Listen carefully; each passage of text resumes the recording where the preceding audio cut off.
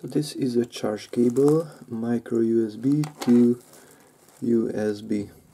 And as you can see here, this cover was pulled back and it has just a red and a black cable. So that is only the power, the plus and the minus. Plus is the red and black is the minus.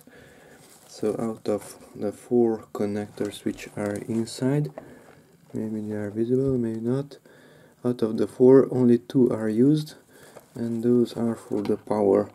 So there is no data connection. Data cables should have four wires. This has only two. So this is just a USB charge cable not a data cable. You cannot transfer data to this cable to a computer